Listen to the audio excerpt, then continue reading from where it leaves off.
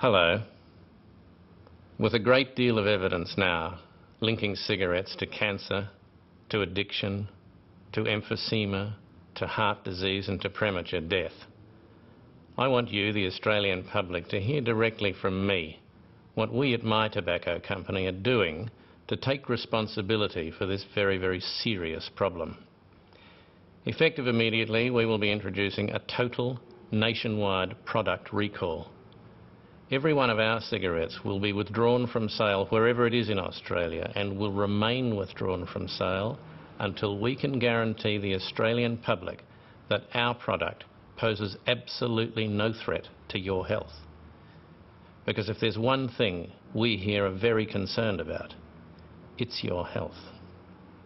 Thank you.